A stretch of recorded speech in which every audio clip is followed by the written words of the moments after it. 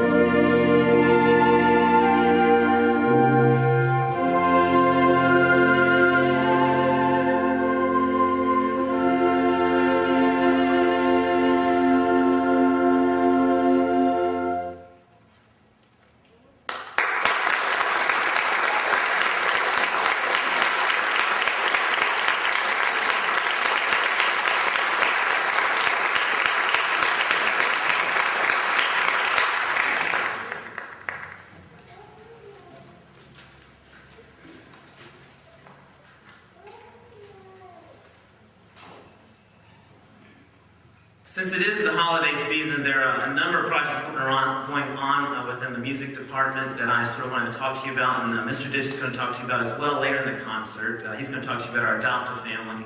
Um, since it is the holiday, holiday season, uh, we try and help out as many people. Uh, those are in need. We know tough economic times and things like that. Some things that the uh, Tri-M Music Honor Society is doing is we're um, we have our annual Can the Principal Can Collecting Challenge. We've been doing this is our third year. Uh, last year we raised over 1,350 cans that were brought in by the students here at White Oak High School. Uh, we're doing it again. Our goal is to get 2,000 cans this year, and we hope that we can reach that. We're about uh, 400 cans right now, so we got about 1,600 to go, and a little over two weeks left in our can drive. Uh, if you have any cans in your pantry, maybe you don't like those peas anymore, or uh, those that canned asparagus, but either or, bring those into us. We'd love to uh, give them to the, uh, donate them to the Onslow County Christmas Cheer. Also, your students, for every three cans they bring in, they can be entered into a raffle for um, various $20 gift cards to different places in Jacksonville. So bring those in. We greatly appreciate those during the holiday season. The last piece the concert band's going to play for you is Good King Wenceslas.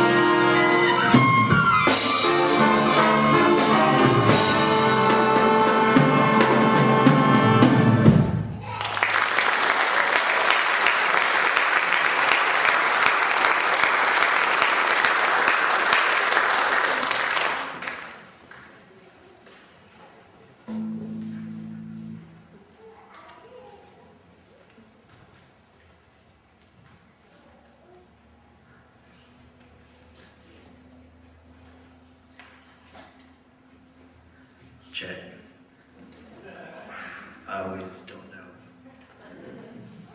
Pretty good for 6.15 in the morning, wouldn't you say?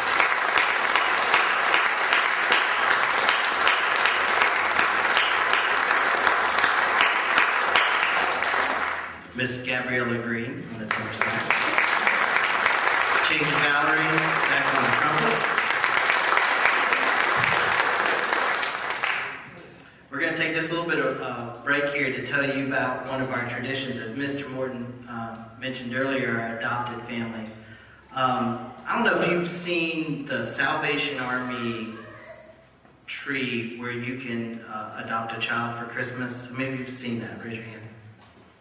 Several years ago, I won't say how many years ago, because then you, you might say, man, this, that you're kind of old.